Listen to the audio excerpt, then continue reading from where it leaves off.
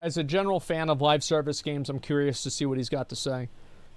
What's up, everybody? This is the Act Man here, and today I'm posting my very first live service video. Oh, I've come to the conclusion that finishing my work before making it publicly available, it it just takes too long. It's Yeah. too much time and effort, and you don't want to wait for content, do you? I need the views and money right now.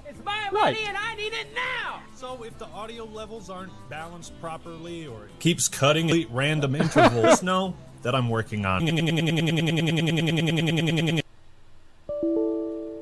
Because I'm also launching this brand new feature called Free to Watch Videos. Oh, boy. That's right. Unlike my OnlyFans, you don't have to pay me to watch garbage. However, I do know that the comment section is currently disabled. Rest assured, uh, our teams are working on that. But uh, To keep I, it I disabled. hope you keep coming back to this video to rewatch it every week.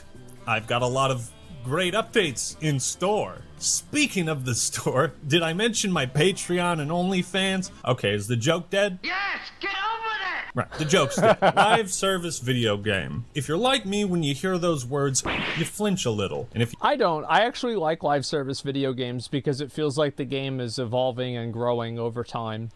Uh, I, I think that there are just a few very well known live service games that are fucking garbage, and it's hard to not think with that perspective. you hear early access before Yeah, it, it's like it's abuses the term like unfinished trash. Yes, it's like early access. Yeah, there we go. Yeah, this is fucking amazing. Crafting early access, survival, and open world. Think about how many games run on a fucking potato that have all four of those tags. Absolutely. Yeah, if you, if you, yeah, and, and the games they're all broken. None of them work. It's horrible. them, you probably start blowing chunks. Yeah. Despite their lackluster reputation, live service games have become such a popular trend. It doesn't discourage every developer from attempting to make one. I mean, literally, every single new release these days is promoted as an ongoing service. Indie fighting game? It's a live service now, boyo. Single player RPG? Nope. That's a live service too. Now, Which, to be fair, apparently that helps Cyberpunk a lot. So it's it's one of these things where live service games might be a um, departure from what's usual, but it seems like it's been a positive for many of these games. Uh, I remember seeing CD Projekt Red talk about having uh, multiple days with a million concurrent players online. Let me be clear for a second. Gaming is in the best shape it's ever been. Developers True. have more tools, resources, and everything they need to make the best video game ever. Elden Ring, for example. The ability to good one. update games post launch inherently makes the whole industry better. With Yes, that out of the way, live service, unfortunately, is because you have to keep in mind also there are in a video game like Elden Ring there are infinitely more outcomes that can occur in that game because there are simply infinitely more inputs that can occur there are infinitely more uh, things that can happen things different interactions between different abilities with different objects with everything right so whenever you're taking a million and multiplying it by a million it's a lot harder to just like beta test and make sure this is ready for release than whenever you're multiplying, you know, a thousand by a thousand. So because the games have so much of a larger scope now, it becomes much harder for the developers to uh, just like definitively say this game is completely finished with no bugs. is both a perk and a crutch. It is both a cigarette and an apple. Some developers are able to capitalize on this live service model in the best ways possible. Smash Bros. Ultimate, Yep. for example. Without a live service, my dream of seeing Banjo Kazooie in Smash it's gone. You can provide constant bug fixes, new content that keeps players entertained for years. Oh, yeah. Now, who doesn't want that? That but sounds for some good. developers, the live service becomes a hindrance as they make grandiose promises of a living, breathing platform, only for that to flatline as the game turns into a ghost town. 50,000 people used to live here. Now it's a ghost town. Live service games, or L- That is one of the things that sucks about live service games is that some of them come to an end and then you're not able to play the game anymore. That's what happened with WildStar, for example. Uh, it's like distortion and his viewers zipping method in Elden Ring speedrun game. I'm pretty sure testers can't find that. Exactly. A- And the truth is, like, it's easy to say that, like, oh, old games didn't have that. Old games were tested better. No, they weren't. Watch a Super Mario 64 speedrun. Watch a Legend of Zelda Ocarina of Time speedrun. Watch a Super Mario uh, credits warp. They were all bugged to fucking shit whenever you have a million people playing them sharing ideas on how to break them. Old games are simple. Yes, they old games are simple and they still had massive bugs in them. That's my point. SG and games as a service is simply the idea that a game will get consistent updates and grow and evolve over time. Yeah, On paper, this sounds like a, a no-brainer win. Easy. But were it so easy, as the old saying goes. Now, why has this type of game become such a popular trend? What are the problems with live service Why is it a trend? I don't know. Maybe because of battle passes and you can sell them to people consistently and get them to come back to the game regularly without having to develop an entirely new fucking game and also sell cosmetics constantly. That's why is you can monetize the game five or six times before it actually runs out of its uh, product cycle. It's just common sense. Games and what can what they happens. do right? All these questions and more will be answered after the sponsor of today's video. Who is it? Is this video is sponsored by the Grand Mafia and bad Italian accents. I'm gonna make you an offer you can't refuse. A chance to go from level 1 crook to level 100 mafia Wait, boss. is this the You actual wish game like you that? beat the salami out of some bullshit mob bosses been giving you trouble? Well, now's your chance nice to prove hat. it, kiddo. The Grand Mafia is an MMO RTS game where any schlub like yourself can rise through the ranks of the criminal underbelly. Recruit different I love watching the trailers of these games. I will actually sometimes sit through them because I think they're funny. Homies, grow your gang, take over parts of the city, Yeah, they're so and dumb. expand your sphere of influence. Grand Mafia operates on international servers, making plan with people across the ocean a breeze. In Grand Mafia, only one faction can control and govern the city. Well, so basically, what they mean by that is that the Dubai oil princes that have already invested $50,000 into this game, they will find you and they will farm you. That's what they mean to say whenever you can play worldwide. And you better believe you got competition. You can download and play the Grand Mafia for free. Go do it right now. Use my special code TGMACTMAN to obtain unique rewards and participate in the Golden November anniversary event. It's a big event where all the crime families meet up on a giant cruise and, uh, talk things over, if you get my drift. There's a bunch of mini games and a brand new Enforcer Bone Crusher. And don't forget to participate in the H5 minigame where you could win fabulous prizes like a PS5, Amazon gift card, all sorts of things. Download the Grand Mafia today. Come join my family. Check the link in the description and pin comment. And thanks to the Grand Mafia for sponsoring this video. And now for something completely different.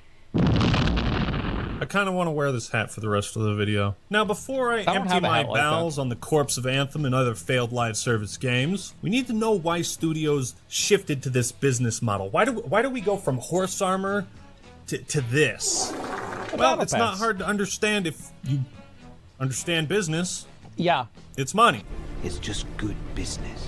But you could also watch this chart of the top 15 games on Steam over the last 10 years or so. And what you'll notice is almost all of them are live service. Because That's the thing. And and that the reason why people this is the actual reason why live service games keep getting made is because people keep playing them. It's that simple. Well, oh, oh yeah, let's look at all the most successful games. Wow, all of these games are live service games. Hmm, I think I know what we should make. Yeah, they sell. even though The Witcher 3 and Elden Ring were some of the biggest, best games ever made, Yep. they still don't stay at the top for very long.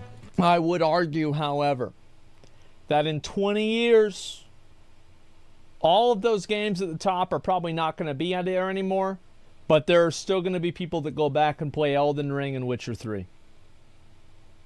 So, a, a- like a a single player masterpiece game is good forever.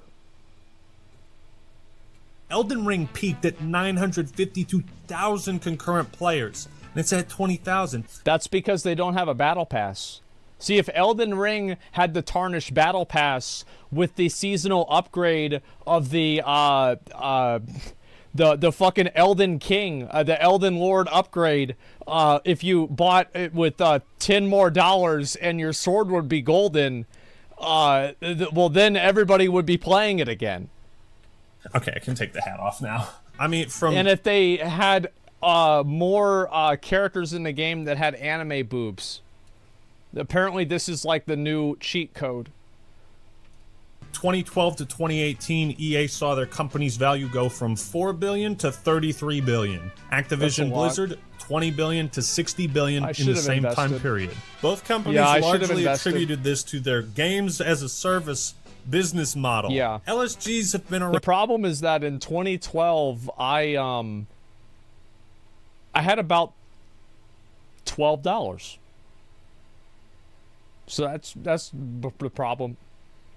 around since the 90s with EverQuest. My first experience was in the early Oh. 2000s with World of Warcraft I and everyone's favorite dating app, RuneScape. Oh, These World of Warcraft, MMORPGs with huge worlds and active player bases Yeah. needed this kind of constant live support so that gamers would continue wasting their real lives building their virtual ones. Yes. Want to learn something new I did today, that. do ya? I'll learn you something. In 2003, on the original Xbox, the game Unreal Championship made history. I have that. the first console game to get a post-launch update. According to I one of the no idea. devs, work on this patch began roughly three to four weeks I remember this game. It didn't have inverted controls, and I would play with inverted controls on my joystick. And Unreal Tournament, I had to relearn how to play without it every single time I played Unreal Tournament. After the game shipped, and the decision to ship it came after reviewing the forums and hearing the feedback from fans about exploits that started to pop up. It's important to note that the idea of post-launch yeah. support, at least on consoles, began as a way to address fan feedback and fix problems that flew under the radar. Because Well, it's still effectively what they usually do. oh shit, we fucked up. You guys remember this one? This is a good one. He's about to go flying. You're not supposed to be flying across the map like that. Because back in the Yep. day when you complained about a game on a forum, you didn't expect anything to happen because Oh, back in my day, these games, whenever they came out, there were no bugs. There was nothing wrong. The game came out, it was finished. It's not like you could just super jump on top of the one platform on lockout and sit there for the whole fucking map during the entire match and headshot people until you run out of ammo. No, that couldn't happen at all. Absolutely not. Then people would have to throw grenades up there to try to get you down, but you move out of the way. Because back in the day when you complained No about a game on a forum, you didn't expect anything to happen because the game was out. They couldn't do anything about it. Yeah. I think once the Halo 2 map pack came out, that and I bought this. I remember I went and I bought the Halo 2 map pack at GameStop the day it came out. I got it on the way back from school in ninth grade. Unreal Championship became the launch pad for live service games to really take off. Unlike my fucking did- vacuum cleaner, I've been waiting on the new update for this goddamn forsaken piece of Which one is Shit. this? Uh, oh, that's a Hoover. Oh yeah, we had that one. Yeah, that one catches on fire. Yeah, that one. Yeah, it it it, it was like I had a smell on it, and yeah, this one. uh, Yeah, yeah. All you have to do to understand trends in business is follow the money. Why is mm-hmm. Activision Blizzard suddenly taking an interest in all the sexual harassment allegations floating around their workplace? It's not because it's the right thing to do, it's because they're getting sued. Yeah. Why are so many videos on YouTube exactly 10 minutes long? Money. It's eight minutes now. I'm pretty sure. Because that's when we can put mid roll ads in. Yes. Why is every single That was eight company putting now. a battle pass into their video game? It's Because not because every player is like, yes, I, I love it. I love good. battle passes. No, it's because money. Because why settle for a one-time purchase when you could have more? Hi, That's Billy right. Mays here. Game production used to be a fire and forget kind of business. The game launches, it's out. That's it, fellas. Pack it up. We're working on the next one. And honestly, if you're going to put that much effort into creating a game, you want it to pay off. You want it to do well and last a long time. And money makes the world go round. It's just good business. So Well, I think it's also what the people want.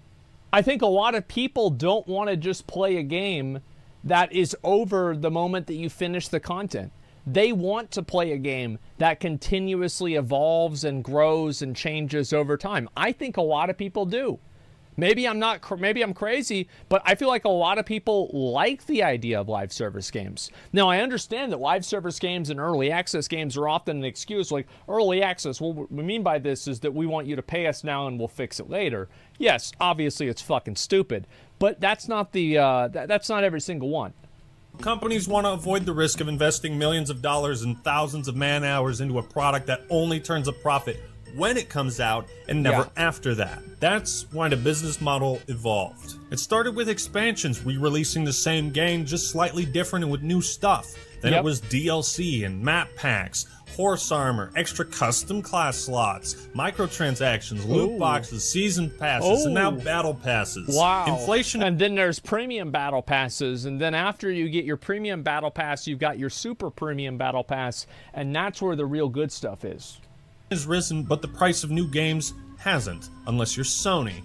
and You think you're better than everyone. Most consoles are sold at a loss of profit. Developer Yeah. size and budgets have risen tremendously, and with that, expectations. Companies want to avoid big risks. If Yeah, it's like the price of making a video game has probably doubled in the last uh, 20 years, but the price of buying a video game has increased by like 30%.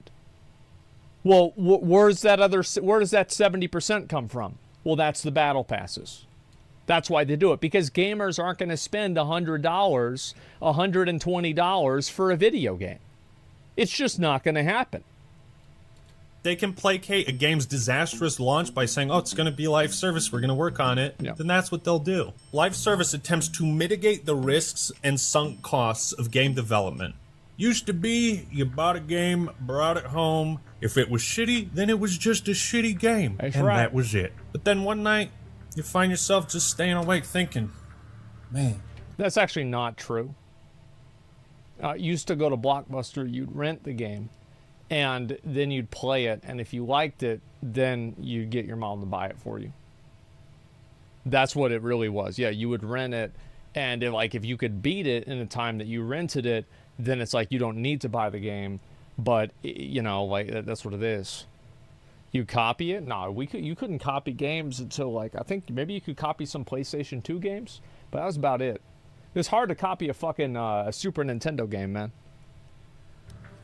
maybe Superman 64 wouldn't have sucked Gorilla Balls if it was a live service. Yeah. Nowadays, you're allowed to release bad or poorly optimized video games as long as you say, well, it's shitty now, But but it might get better. Said every developer of an early access It survival game. Trust us, this one isn't a scam. I don't think anyone has the boomer hot takes that games were better when they were never updated. People that think that that's what you look like right there. In an ideal world, a live service except his hair would be gray. service would make every game better objectively, right? I'd kill a man to get more maps in Mario Party 3. Live service experiences weren't so controversial when it was MMORPGs, but once games like Destiny, Fortnite, and Call of Duty started picking up the torch into the mainstream, well, that's when all hell broke loose. Updates, patches, and new content are essential to the live service business model. And it's become commonplace for new titles to have roadmaps, blog posts, Oh, yeah. video updates, interviews, hot fixes, new maps, patch notes, battle passes, seasons pass. Which to keep in mind, Elden Ring had a number of these too. Uh, Elden Ring had multiple balance patches, and this is not new with Elden Ring. Uh, Dark Souls 3 had this, and so did um, Dark Souls 2. We're taking out this character, we're putting that character back in. I think Jeff Kaplan showed his ass hair on camera at once, saying it was going to be in Overwatch 2. And it's like, is, is the Yeah, game it's called finished Winston. yet? Can I have the fun? Is the fun now mine? The live service experience can easily get muddled and confusing to casual gamers. I already keep track of my bills, my insurance, and the decline of my physical well being. I don't want to keep track of every update for every live service game. For example, when Halo has always had split screen campaign co op, and then one day it doesn't. Yeah, that was uh, that was kind of interesting how they just get rid of split screen co-op. Like I, I don't understand why why you would do that. I, I remember like playing split screen co-op was fucking awesome with my friends. Like I, I I feel like every game should have to have that. Should be like legally required for you to have split screen. It's like, sorry you didn't read blog post number 503-7C. Fuck you, Yeah. by the way. On the flip side, when new season That is true. Like whenever uh, if if you're not keeping up with a live service game, it's very easy for it to kind of leave you behind.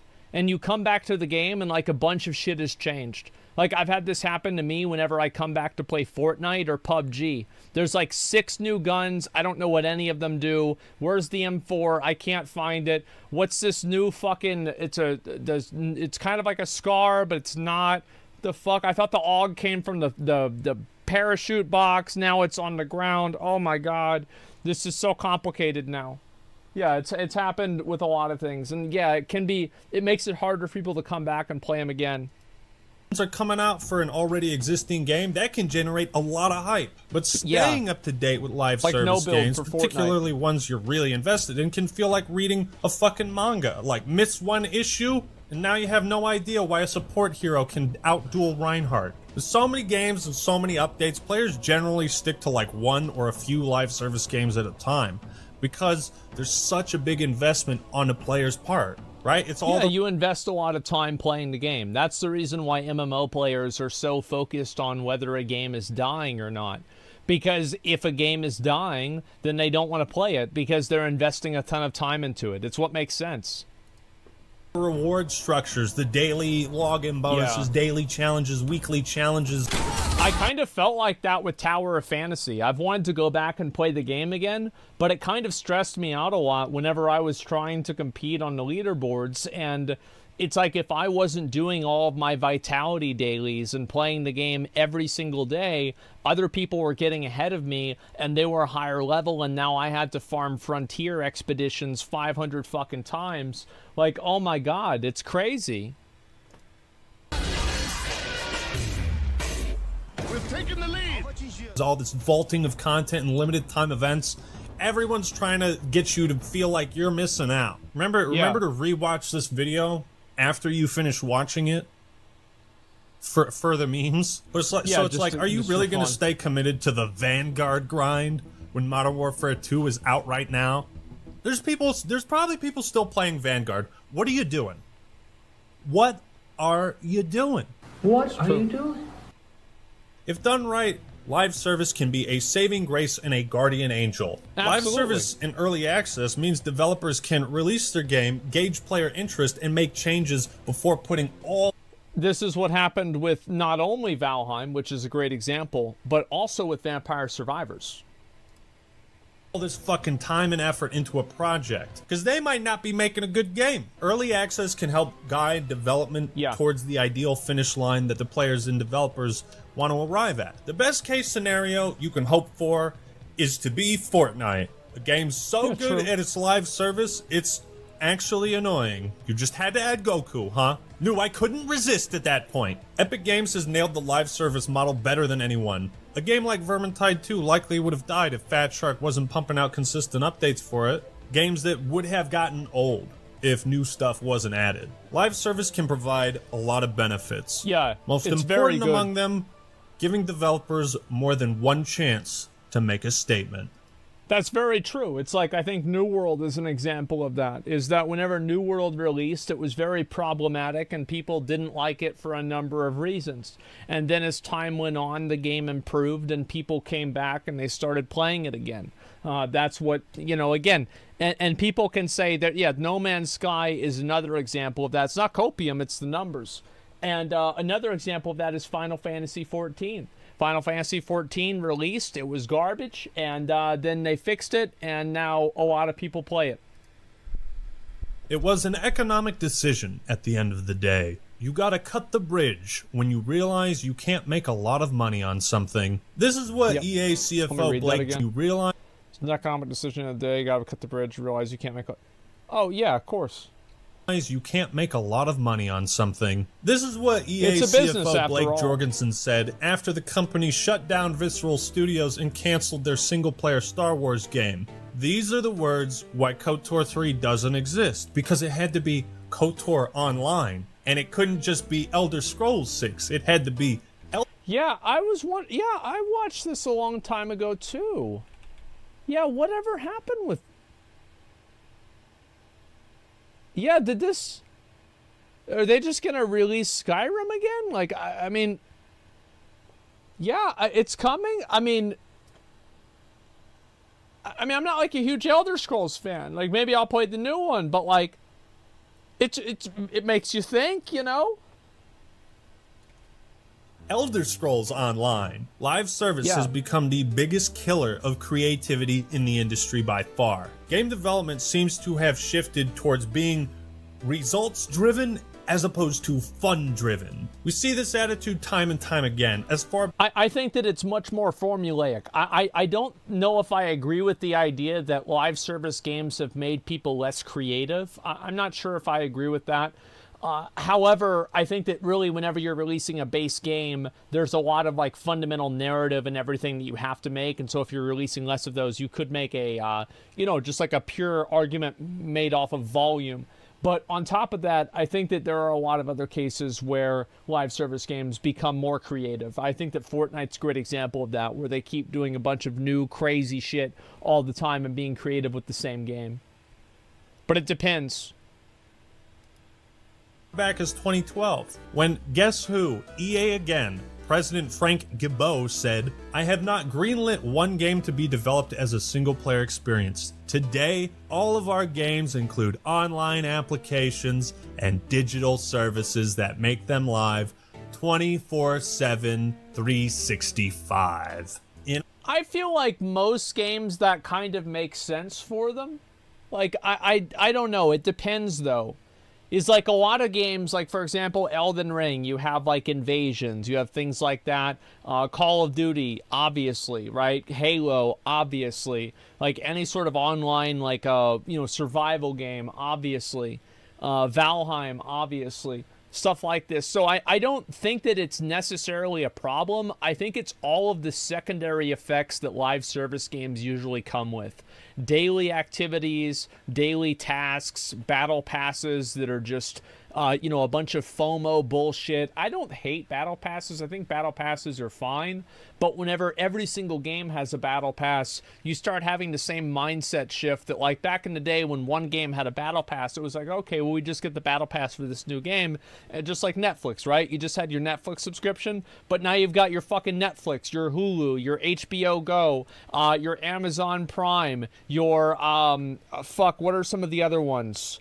Uh, those are some of those that just immediately come to mind. Uh, Apple Music, uh, Showtime, like Paramount Plus, Disney, Hulu. Like you've got all of these fucking all of these different things, and now it's like a ten dollar charge for every single one of them. It's like I thought we fucking I thought we moved away from this with cable, and now we're getting it again.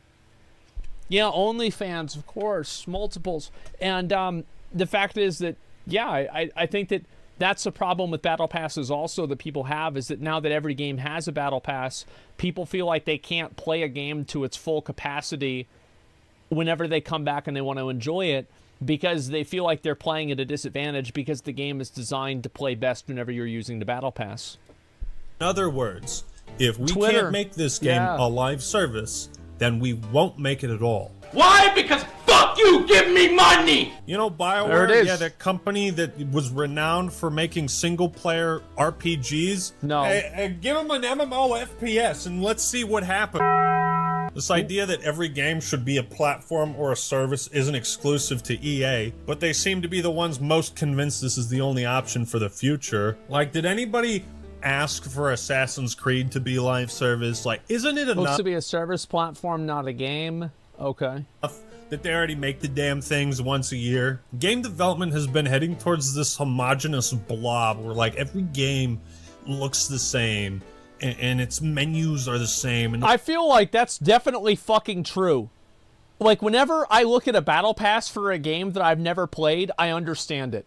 Whenever I see a gacha system for a game that I've never played, I'm like, okay, so that's the premium currency, that's the end game currency, that's the store points, that's the seasonal currency, okay.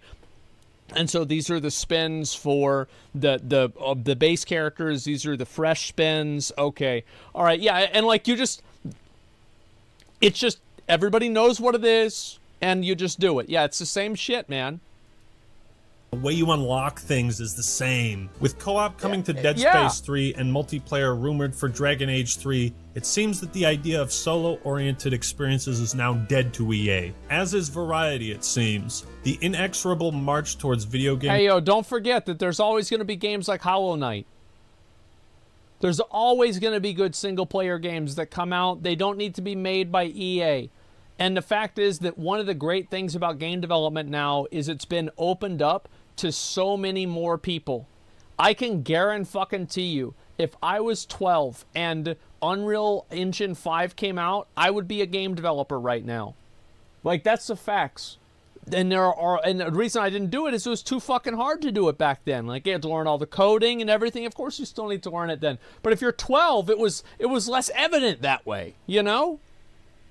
Yeah, you've got Hades, like Icarus. There are many there are many games that are produced and made that are incredible now, and I do think that a lot of these massive studios like EA, uh, Ubisoft, uh, fucking Blizzard, Activision, uh, all these big places, they're they're getting to this point where they are too big to succeed. There's just so much red tape so much foundational problems that they have to overcome, so many types of like overlaps and like checks and balances that these games have, politics. Uh, and I'm not, I don't mean like, you know, putting a, a gay person in the game. I mean like office politics. I mean just the different things that the games needs to appeal to. Uh, these are the kinds of things that uh, just make these companies too slow to operate too slow to it's like a ship right like you have a massive fucking ship and it's like it's hard to turn the fucking ship because it's so big that's what these aaa studios are like now is becoming one indistinguishable mash of gray sludge continues. Live service has radically changed the way sequels are produced, if they are at all produced. Yes. Right, Rockstar? Making new Like games is hard. too. So let's put all our eggs in one basket and just invest. why are you even shitting on fucking bro at least grand theft auto has like an active roleplay scene or not roleplay scene uh roleplay well i mean scene but not okay all right anyway fucking how many times have they re-released Skyrim? I mean, it's got to be twelve times. I, I think hundred percent. I, I would, I would almost for sure bet that it's been released at least ten times. It's nuts. At least Grand Theft Auto, it's like you know you've got the whole online scene and everything. in that. Oh, what's oh, my that? We made eight quadrillion dollars? Yeah. That's a reason why Grand Theft Auto 5 has been on three console generations. Don't get me wrong, being a live service is an incredible tool to have at your disposal, but not every game needs to be one. What publishers That's need to true. realize is that, like my new vacuum cleaner, it's okay to just make something good and leave it at that. You know, at what point does the idea of providing a service conflict with providing a fun experience? I'll tell you when. When? When it affects the bottom line. So, okay, we've established that mm-hmm. player retention is the most important factor, right? Yep. In, in in a successful live service. True. We need players. More players, more possibility for spending, more ways we can monetize. Management needs to hit a bottom line to continue justifying this. Sure. Again, please subscribe to my OnlyFans. Most systems in, in modern video games are focused on maximizing quite a player picture. retention. Once you understand this, everything about modern gaming falls right into place. You begin to understand why social features have been disappearing, why um, scoreboards are, are now a hot button issue, why post game lobbies disband, why you can't vote on maps anymore. You start to realize there's a reason games launch like shit sometimes, and why FOMO has become such a popular acronym recently. If there's a choice between adding a feature that objectively makes a game better and removing it to potentially increase player retention, what do you think the publishers are going to choose? I played World of Warcraft for 15 years. I know the answer to this. I think that we all do. Yep. We know we know how this goes. Uh-huh. Live service at its worst is the term minimal viable product. As Oh, in no. the bare minimum we can do without getting sued. All we have to do is put Yeah. out a game that won't get us sued. I feel like this idea of live service has been twisted and warped in the minds of some developers and publishers into thinking, well, if it means it increases player retention, then it's automatically a good decision. Not always. Developers like 343 might see the resounding success of Fortnite and Destiny, so they then try to copy what those games are doing without any regard for how it affects theirs. Same with all those shitty Well, this is the same thing that a lot of people try to do is that this is the same with streaming, making videos, or anything like that. Same with making games, is that, you know, they see one game or one person doing something and it working, and then everybody else goes and tries to do the exact same thing. Why do they do that? because it worked for the other guys. And they don't think about why did it work. They're not able to accurately break down what the factors were that caused the success. They just look at the finished product and try to just replicate that without thinking about where the nuance is underneath it. I think that's a big issue. Battle royales. Once once one person does something really really successful, Everybody then everyone starts copying them. Yes. it happens everywhere. how many survivors games are there now We can't allow you to choose what color your armor is in Halo because that conflicts with the service we intend to provide through carefully controlled coatings. Stupid. No, you can't just choose the color red. You need to unlock it or pay for it. That's In a lot right. of examples, live service fucks with things that were already fine to begin with. When someone tells me their game is a live service, my first thought is, okay, so shit's getting cut. Instead of prioritizing a fun, rewarding progression system, companies instead bottleneck progression, monetizing it, making it as I do think that the battle passes have become very monotonous and um, tiresome for gamers because a lot of people nowadays. I would say that if you look at the average gamer nowadays and you compare that to the average gamer 15 years ago, I feel like how many of you guys were like one game people? Like, what was the one game that you played like 80% of the time? Or 90% or like not 100% of the time? Like, you were a one game Andy. And like now, you're playing probably a bunch of different games. You're playing World of Warcraft, you're maybe playing Final Fantasy, you're playing New World, you're playing Overwatch 2, you're playing Fortnite, you're playing whatever the fuck, right? You're playing Dark and Darker, you're playing Valheim. So whenever you have all of these games that are all existing now and how this the, the landscape of playing video games has changed tremendously because there are so many other actually very good options out there that having to have a battle pass for every single one of these games is not realistic for a normal person. This is just not. It, it, I mean, even if you play video games all the time, it's not realistic. If you're playing, you know, like ten different video games every month, and you're paying for a battle pass, and the battle pass is fifteen dollars a month or something like that, ten dollars a month. That's like eighty, a hundred dollars a month just on video games. It's a lot. And a lot of people aren't going to spend that. And even if they do spend that, then they have to spend the time inside of each one of those games unlocking the activities through the battle pass. So now it's like, okay, you've unlocked new chores to do. So yes, I do think that battle passes can come at the cost of a uh, uh, of a of a good rewarding experience. Uh, and and I feel like also like again, they're not fundamentally bad, but having so many of them and having them be so uniform across all these other games, I think has become very tiresome for a lot of players.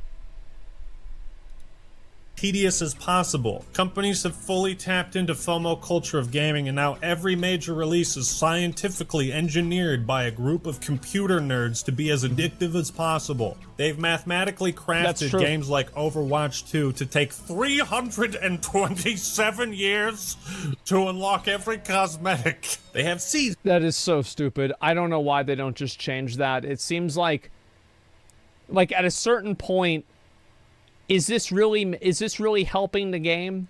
It's just too much. limited time battle passes, vaulted content. Get it now, get it now. It's in the store today. It's not coming back ever again. D- d- open your wallet, bitch. Right? Like, I could obsess over the stats of my own channel, or I could continue doing what I think is fun for me and my viewers. I want to blank the cat. I think just making good content should be the first and only goal. Because everything will follow after that. When you're profit Well, this is like the uh, this is like the whole Steve Jobs thing, where like the sales guys have control of the company and not the content guys and the product guys, and then the company, uh, you know, the company eventually like loses success and is less less popular because the guys that can always make more sales, but sometimes the product is just good in itself. So yeah, I think this is definitely what's happened with a lot of these games. It's it's certainly a bad thing. Are directly tied to the number of people currently playing. Yeah. That creates pressure. Pressure that and is- that's also a pressure that's created by the player base like think about how many people fixate on like the new world or the uh, any steam number game any game on steam is constantly being graded based off of the amount of people that are playing it so like if there's not a lot of people playing the game dead game only relieved by keeping the engine moving.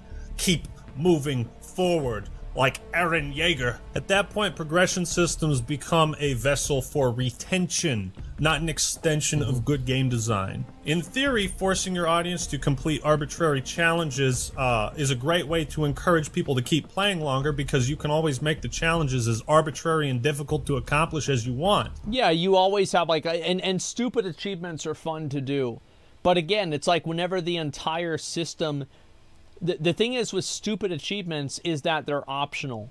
That's the big difference. in theory. In reality, people don't like being told how to play a video game. How about this? Yeah. Let, us have the most extreme example. Next Call of Duty game, the only way to level up is through a single challenge for each level, and every time it gets more obnoxious. To get to level 2, all you gotta do, stick players with Semtex 15 times in a match. If you make that progression system, everyone runs around trying to stick you with Semtex, and the game Yeah. fucking blows. Progression systems can dictate how people play a game, and if you miss This is exactly what happens with WoW and uh, and parsing. Now that we have like raid parsing and everything, everybody just plays the game to parse. They're not trying to kill the boss. They're trying to get a good parse. This happens in Wrath and it also happens in retail.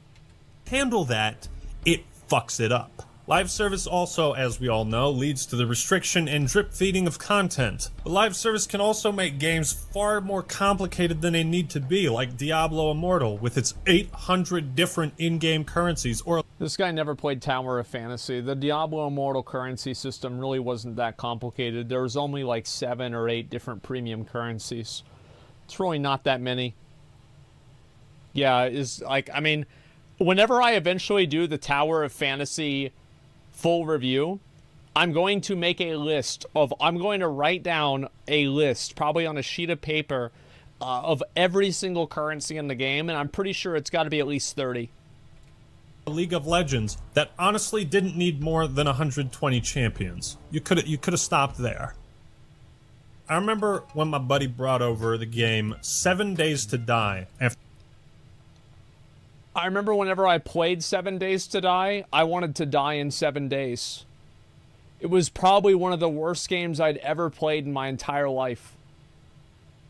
Uh, an ex girlfriend made me play this game with her. I killed myself in the game so I didn't have to play it with her anymore. After it came out. And all I could think was, holy shit, dude, you just got scammed. this, this video game is so bad, it's, a scam. It was one of the most unfinished games I, I'd ever so played. bad. I didn't have the heart to tell him. He was like, yeah, it's pretty bad now, Yeah, I didn't tell her either. but I hope they can fix it. And I sat there and I was like, homie, why you playing something that don't work? I don't care if Yeah. you plan to make your game better. I mean, I could say that, but like I've done that with a lot of games. It's like one day it will be good. I I just know it. I just know it. One day it will be good. Maybe in 2 years. If it doesn't capture my interest when I play it, I'm out. Yeah. I'm a human being with limited time on this planet. I'm not going to waste it eating garbage. Sure, Sea of Thieves and No Man's Sky, they might be incredible 10 out of 10 games right now, but they weren't when I played them. And I checked out. Your game sucks. I don't want it. Gamers have so little patience for failed live service experiments these days because so many are already up and running with years of work put into them. I mean, Destiny had so That's why it's so hard for these new games to come out. Is because like you're competing against games that have already been out for years. They have years worth of a catalog of content. So it's like how can you come out and compete directly against that? It's really hard to do. So many updates they had to remove content because the game was so big. Which brings me to my next point, competition.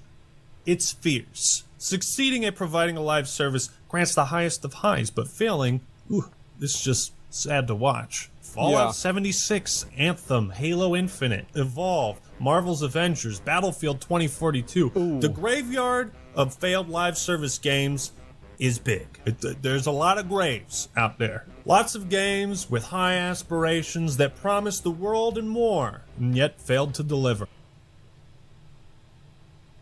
Halo should have had a BR. I said it then, I'll say it again. Halo should have had a BR. And every Halo fanboy told me I'm wrong. Now your game is dead. Maybe it would still be dead with the BR. But we know for a fact that it's dead without it. It's unfortunate that live service games now have this expectation I of launching broken and missing Battle content. Royale. Sometimes I can accept that. If if the premise of a game is so good that I want to stick around, I will. You Yeah. know, Battlefield 4 was broken for like 2 weeks to a month, but at the end of that tunnel is arguably the best Battlefield in the series. After release, you need a dedicated team right off the bat on the racetrack ready to keep the go-kart moving. You've started the engine.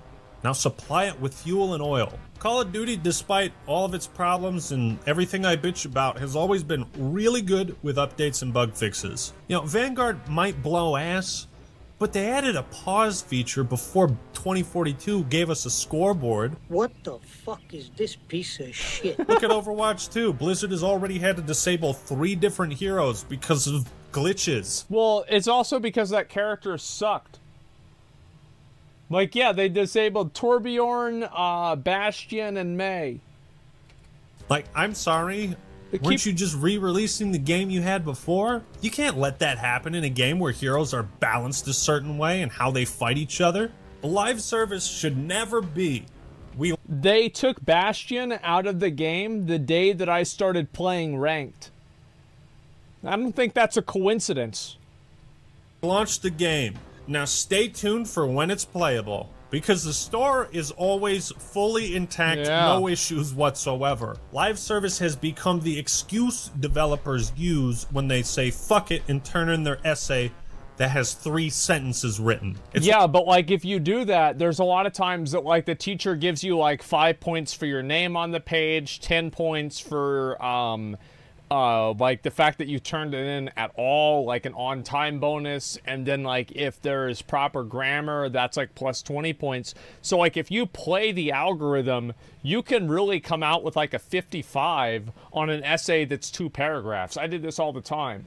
Like I read the algorithm and I was like, okay, if I turn this in, this will reward me with 55 points and I will successfully complete this class with a 73. Yeah, it's normal.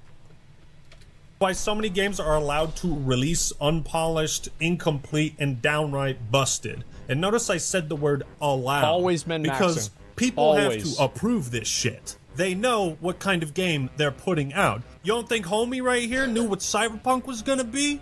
Huh? Oh no. Think again. Look at it. Look in his eyes. He knew. Myself and the board are the final decision makers, and it was our call to release the game. Although, believe me, we never ever intended for anything like this to happen. Liar! She pulls my trigger, got me up.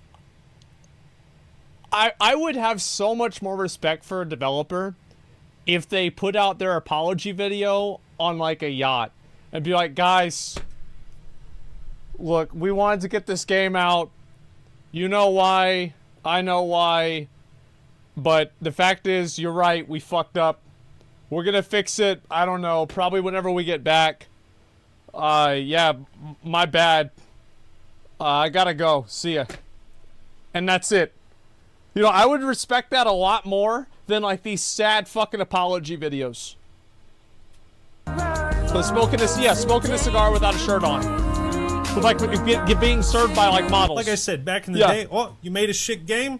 Sucks to suck. Time to move on. Do you it can't do again. nothing. Now we need to make a new game that's not a dumpster fire. That was the pressure back in the day. You have one Giant shot. watch, Wasn't yeah. always the best, but, you know, gave us Halo 2. Without the luxury of fixing it later, developers were forced to make games great on day one or not at all. If you can't hit the I will say again, if we are talking about bugs, watch the way that Jervalen did the fucking uh what is it called? Not minimize level no echo. Uh the fucking uh what was it called? The the, the Ch- Charlie's Run thing. I, I forgot even what it was.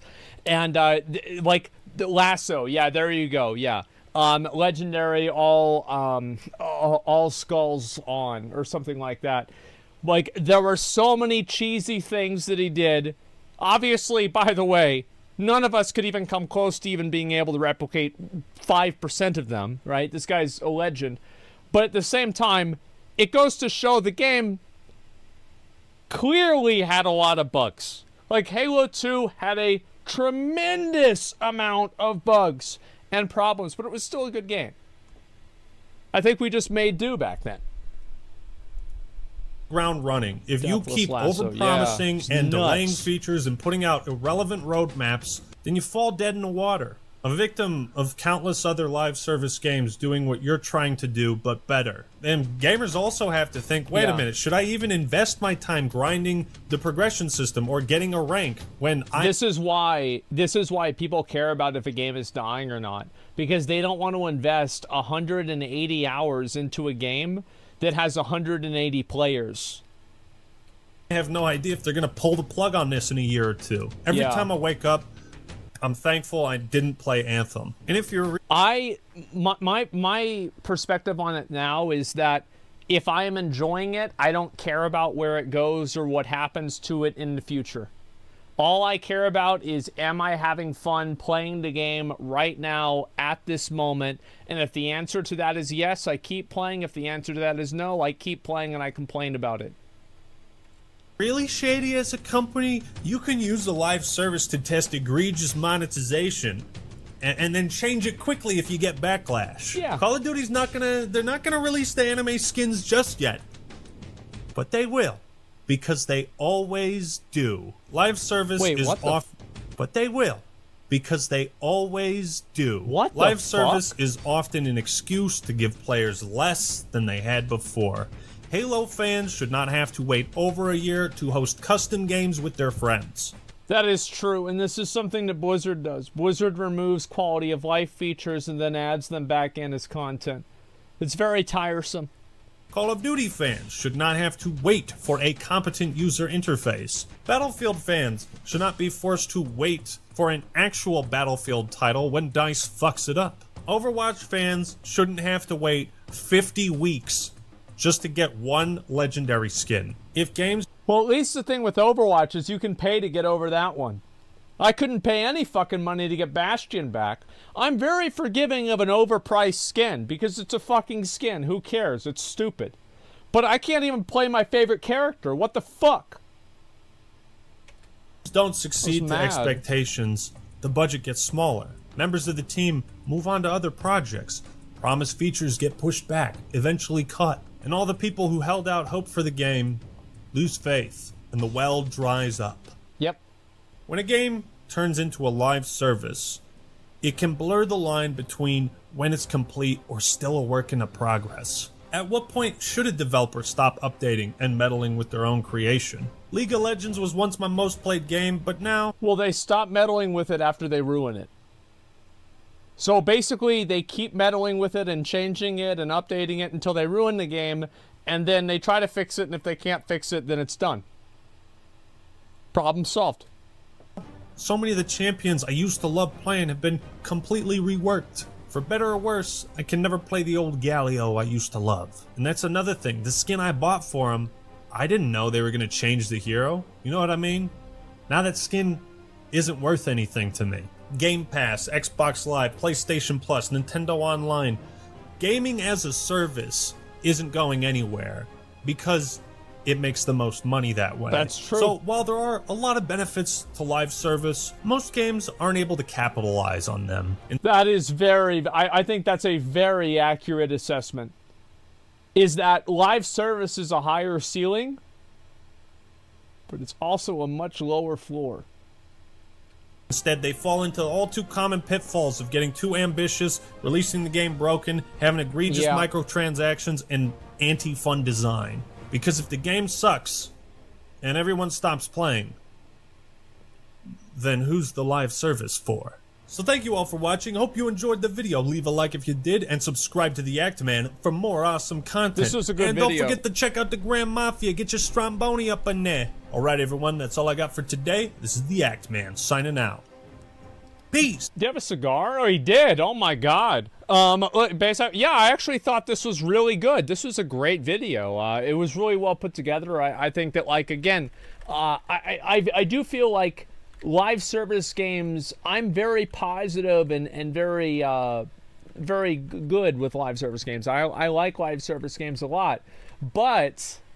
I think we also need to call it what it is many times, where a lot of these live service games are fucking just battle pass, uh, like Freudian, uh, fucking variable reinforcement schedule gacha gambling simulators. And those suck. And again, I think that the, like every game having a a battle pass has made it to where people don't like battle passes anymore. And in the same way that like Netflix being the only thing in uh in, Netflix, Netflix being the only subscription you could have was fine. Now whenever there's a half a dozen of them or even more, now it's very annoying because you have to pick out which one you want to have now, uh, how many of them are still on your credit card. It's fucking annoying. So I I I don't really know like what the solution to this is. I have no idea, but it is very annoying. And I think that there are a lot of people that are going back to pirating movies and stuff like that and shows because of how annoying it is that every one of these places has like one good show and they want you to subscribe to the entire service just for that one show. People don't want to do that, so they're pirating them again. And so back to pirating for sure. Yeah, and the thing is, like with music, I, I used to pirate music. Now I don't at all. I, I have Spotify, and Spotify's great. It's an actual value add. It's incredible to think that there's something that you used to pay money for or you used to get for free, and now you're paying money for a better version of it. So I think Spotify is a great example. And uh, Spotify's really good. Yeah, exactly. Let me link you guys a video. Make sure to give it a like. Actman is a legend. He's been on my stream multiple times, and uh, you know, if you guys know all of his history, he's been through the ringer with YouTube too. So uh, make sure to give him some support. Absolutely, man.